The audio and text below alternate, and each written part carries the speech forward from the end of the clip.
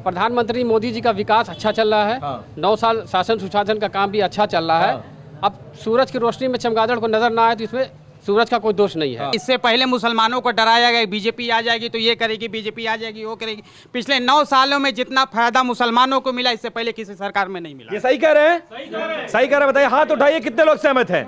ये सही कह रहे हैं? ऐसा तो नहीं आप भाजपा वाले हैं? नहीं नहीं ऐसा भाजपा से कोई संबंध तो नहीं है? ऐसा कुछ नहीं है। हाँ। मुसलमानों को मिला क्योंकि जानते हैं क्या है जब ये मैं इंटरव्यू दिखाऊँगा तो लोग कहते हैं ऐसे मुसलमानों को आप कहाँ से ढूंढ कर लाते हैं जो भाजपा की तारीफ़ करते हैं? माने तो आपको नहीं बुलाया। तो आप तारीफ़ कर रहे हैं? तारीफ़ नहीं कर रहा हूँ मैं काम की तारीफ़ कर रहा हूँ। किसके काम की? नरेंद्र मोदी सरकार के काम की तारीफ़ कर रहा हूँ योगी सरकार के काम की तारीफ़ कर रहा हूँ। काम दिया काम धरातल पे दिख रहा है। कौन से पाँच काम बताइए? बीस प्रतिशत मुसलमान थे चौतीस परसेंट आवास मिला है राशन मिला है रोज़गार मिला क्या नहीं मिला है? मेरा नाम मोनू कहते हैं मुझे अच्छा शहनशाह आपका नाम है। देश का शहनशाह है उसने क्या काम किया है मुसलमानों के लिए? कुछ किया है? या सिर्फ़ अखबारबाजी है? सिर्फ़ पोस्टरबाजी है? सिर्फ़ प्रचारबाजी है? क्या है? बहुत काम किया मुसलमानों और हिंदू दोनों के लिए आवाज़ दिया सभी लोग बिरादरी के आवाज़ दिया है। क्या हालात था पहले घर का और इस समय क्या हालात है? पहले बड़ी बुरी थी हमारी हालात। हाँ। घर की हालात बहुत बुरी थी हाँ। लेकिन मोदी सरकार जब से आए हाँ। तब से हमको पैसा मिला हमने घर बनवाया। घर बनवा लिए? घर बनवा कितना पैसा मिला जरा बताइए तो। ढाई लाख ढाई लाख रुपया। ढाई लाख रुपया मिल गया।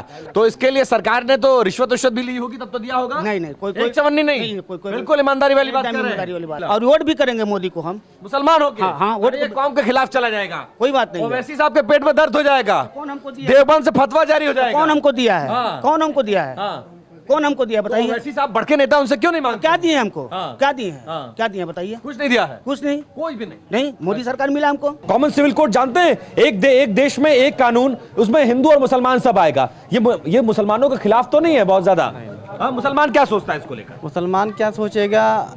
यह है कि सब एक कानून रहे। हाँ। सब लोग जो है एक भाई है हिंदू हाँ। मुसलमान हर लोग हाँ। हिंदुस्तान में और सब लोग एक जैसे हैं सबको एक कानून है कोई दिक्कत की बात नहीं है। एच टी हसन ये कह रहे हैं समाजवादी पार्टी के सांसद हैं वो कह रहे हैं कि देश शरीयत से चलेगा कानून से नहीं चलेगा। फिर न्यायपालिका में जाने की क्या ज़रूरत है? हाँ, फिर खून का बदला खून? खून का बदला खून। हाँ। बहन का हिस्सा आप नहीं देंगे। हाँ। आप सिविल सम, कोर्ट में जाएँगे। हाँ। तो हर काम जो आपका फ़ायदे वाला मामला है वहाँ आप चले जाते हैं कोर्ट में हाँ, न्यायपालिका में। हाँ, हाँ, हाँ। और शरीयत को मान- नहीं मानते हाँ। उसको फॉलो नहीं करते तो आप दो तरह की ज़िंदगी जी रहे हैं। तो अगर आपको शरीयत को मानना है तो शरीयत के सारे कानून को आपको मानना होगा। तो मानिए तो सिविल कोर्ट में क्यों जाते हैं? हैं? ये तो गलत है। एक देश एक कानून होना चाहिए कि नहीं होना चाहिए?